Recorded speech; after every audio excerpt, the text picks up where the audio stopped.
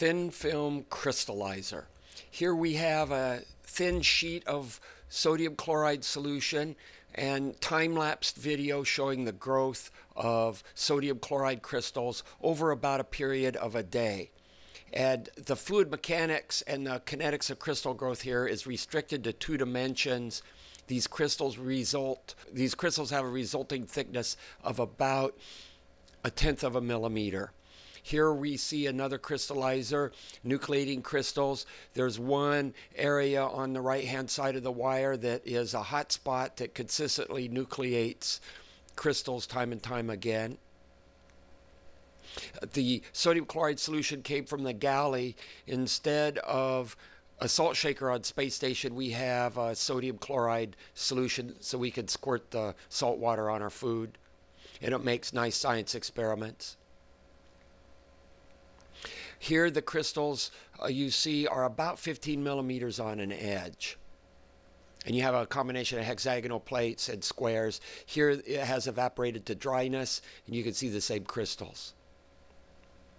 You can harvest the crystals by reaching in and pulling them out. And again, they're about a tenth of a millimeter thick. Here we are making a thin film out of protein. Now this film happens to be blueberry flavored and you might suspiciously think it's jello, but nevertheless it is still protein and it is interesting in terms of what you can do with films like this which will harden with time. And here the film is being made, most of the bubbles are being excluded by the drawing process.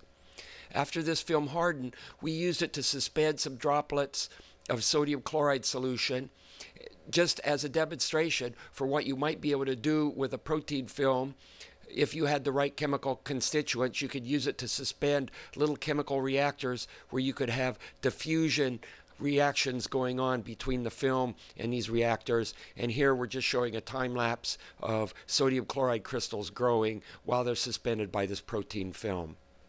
This film has sufficient integrity that you can snip it out of the frame with a pair of scissors and then you can put it in a baggie and you can bring it back home if you like. And again, this is representing what you could possibly do with films made of proteins or other materials in a weightless environment. Here is a, a two dimensional sheet made of sugar solution, and it became saturated with time and started to grow these needle like uh, sugar crystals. And over a period of about a week and a half, the crystals grew and filled in the whole frame.